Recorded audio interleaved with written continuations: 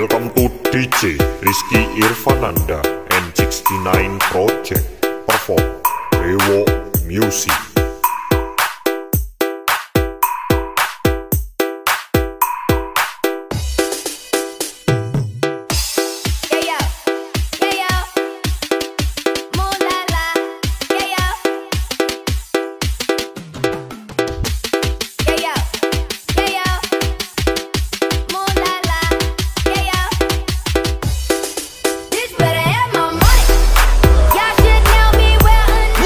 Iya, oke kawan-kawan semuanya, semuanya, oke kawan-kawan semuanya. Wes kembali lagi bersama Arjuna CNDC luar biasa. Arjuna masih berada di Purworejo, tepatnya di markas besarnya si Setiafram. Oke, dan kali ini eh, terkait tentang Setiafram pasti ada yang namanya sapi. Tapi hari ini spesial Arjuna tidak akan bongkar sapinya. Oke. Seperti yang sudah Arjuna janjikan ya dari awal sebelum truk boys ini rilis ya.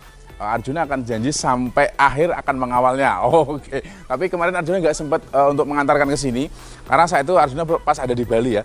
Dan langsung saja Arjuna akan review satu persatu bagian per bagian dari truk kondangnya Purworejo ini. Oke, seperti itu. Seperti bisa kita lihat kawan semuanya. Eh, di sini eh, untuk si canter ini eh, kita bisa lihat untuk warnanya itu biru, biru-biru metalik gitu.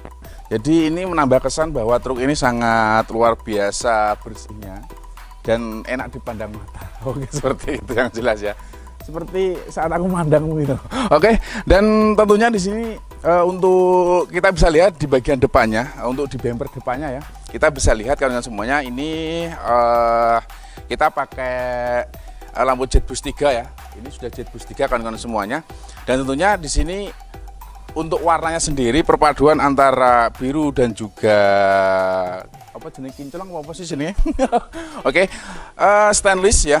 Untuk di bumpernya kita perpaduan antara biru dan juga stainless karena birunya biru metalik kan semuanya. Jadi memang sinkron gitu loh. Jadi nggak mati warnanya.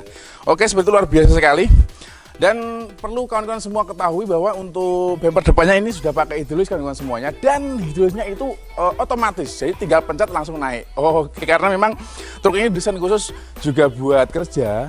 Mu- meskipun ini bisa dikatakan standar kontes apa tidak ya? Nanti coba kita eh, ke samping-sampingnya. Oke, karena ini eh, hidrolis otomatis ya, jadi tidak perlu diangkat seperti ini kalau kita eh, sedang berada di eh, jalan saat ada tanjakan ataupun ada apa ya belenduan nek nyanggruk nyanggruk no. Oke, ya baik, langsung kita ke bagian interiornya dalam kabinnya kan semua. Ayo. Oke kawan-kawan semuanya. Oke ya luar biasa. Untuk dalam kabinnya bisa kita lihat kawan semuanya. Sebelum kita ke audio, kita bisa lihat di sini bahwa untuk joknya sendiri ini warnanya kuning ya, karena memang permintaan seperti itu. Tetap di sini perpaduan lampunya ini kita pakai warna biru kawan-kawan. Yang jelas ini semua eh, disinkronkan ya.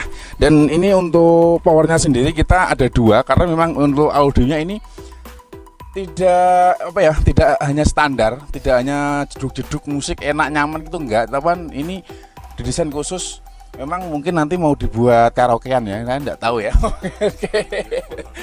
dan ketika Arjuna masuk ke sini ya untuk interiornya sendiri ini sudah kelihatan sangat nyaman sekali ya Eh, karena interior itu selain eh, selain masalah warna dan juga lampunya yang membuat bikin nyaman kita saat mengendarainya eh, yang pastinya Eh, semua diperhatikan seperti itu ya toh. Terlain juga untuk audionya kawan-kawan semuanya. Oke, seperti itu istimewa sekali. Oke. Karena ini memang masih baru kilometernya baru eh, persekian. Oke. Istimewa sekali. Langsung kita ke bagian samping kawan-kawan semuanya. Yo yo. Iya, baik kawan-kawan semuanya. Langsung kita ke bagian sampingnya. Ya, sebelum kita ke pengaman sampingnya, kita ke bagian bak dulu. Ini memang eh, untuk baknya sendiri memang dibuat terbuka seperti ini karena ini khusus untuk muat sapi kawan-kawan. Karena kalau dibuat rapat nanti sapinya recabekan ya toh kayak sapi malah. Oke seperti itu. Dan di sini tetap eh, untuk warnanya kita untuk baknya tetap pakai warna biru metalik ya. Jadi ini memang sangat luar biasa glossy, mencorot seperti itu ya dari depan sampai belakang itu keseluruhan kita pakai warna biru metalik. Ya, dan lanjut untuk stikernya. Oke, dan ini untuk stikernya kita tidak pakai full seperti biasanya kita kalau melihat truk saat ini kan stikernya full kawan-kawan semuanya. Katanya itu dari depan sampai belakang itu full. Ini pakai yang simpel-simpel saja dan bertuliskan berkas setia Fram. Oke, berkas setia Fram ini adalah salah satu apa ya eh, peternakan yang sangat luar biasa kondangnya. Artis-artis sudah banyak yang ke sini kawan-kawan. Oke, dan langsung uh, kita ke bagian pengaman sampingnya. Iya, pengaman sampingnya kita uh, bisa katakan ini adalah blok ya. Ini adalah blok, cuman uh, bloknya biasanya itu semua keseluruhan uh, tertutup seperti itu. Nah, di sini warnanya pun tidak pakai biru seperti yang lainnya uh, ataupun bagian yang lainnya. Ya, di sini kita bisa lihat untuk uh, stainless dan juga ternyata di tengahnya ini kelihatan bolong karena apa? Karena kita pakai akrilik. Ini ketebalannya sekitar berapa senti ya? Oke, sekitar 3 sampai 4 cm kawan-kawan semuanya, seperti itu. Luar biasa sangat tebal sekali ya, istimewa sekali. Dan ini bertulisan @setia.idn ini adalah akun resmi dari truknya Setia Fram ini. Oke, seperti itu.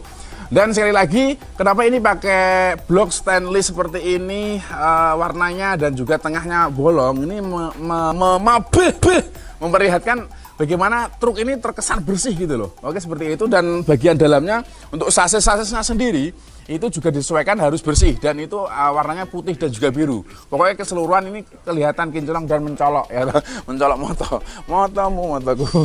Oke dan untuk velgnya sendiri uh, ini kita tidak uh, pakai wheel top ya kawan-kawan semuanya. Ih pakai wheel top gak sih? Oh iya pakai wheel top. Ya oke seperti itu. Uh, kan tapi tetap kita pakai warna yang sangat glossy yaitu warna stainless seperti itu kawan-kawan semuanya. Istimewa, istimewa. Jadi kawan-kawan semuanya kalau pengen membuat truk yang simple, boys kayak gitu ya, itu bisa ini mungkin bisa jadikan referensi persembahan dari New BKJ. Oke seperti itu. Dan baik, oh kita bisa kita lihat kawan-kawan semuanya untuk uh, lampu-lampunya di sini bagian sampingnya di sini semua uh, kita pakai uh, lampu ya seperti itu. Ini lampunya kalau malam itu luar biasa kerennya. Oke untuk bagian uh, penyekat-penyekatnya ini. Oke, langsung kita ke bagian samping kawan-kawan semuanya. Ya, bagian semuanya bukan ini bukan bagian sampingnya, tapi bagian belakang bak. Oke, seperti itu. Dan sekali lagi, uh, ini temanya tetap dengan sapi-sapinya. Di sini ada kendong, gareng, triton, uh, dan mungkin siapa lagi ada kapal ya. Oke, seperti itu. Dan tetap kita pakai stiker yang simpel-simpel uh, saja ya toh. Ini uh, tentunya juga permintaan dari sang owner sendiri. Dan ini bertuliskan YouTube Setia Fram atau Instagramnya juga Setia Fram silahkan dicari.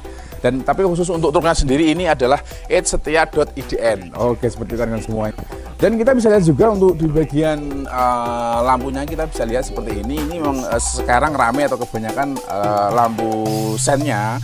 Seperti ini lampu stopnya ya seperti itu uh, dan ini untuk bagian bawahnya uh, kita tetap pakai apa ya uh, pakai uh, akrilik kawan-kawan semuanya.